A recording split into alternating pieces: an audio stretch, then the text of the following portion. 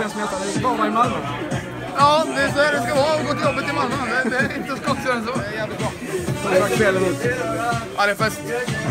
Det är galen fest ikväll. Jag vet inte vart, men någonstans är det. Stort grattis Miguel! Nej! Nej!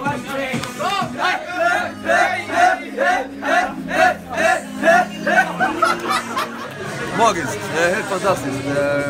Det var därför jag kom hem. Jag ville vinna. All heder till killarna som har eh, kämpat hela säsongen. Jag kommer in på slutet här lite, men eh, stort tack till dem. Det är speciellt att komma hem och, och vinna med, med laget där allting började. Liksom. Så det är grymt. Det är grymt.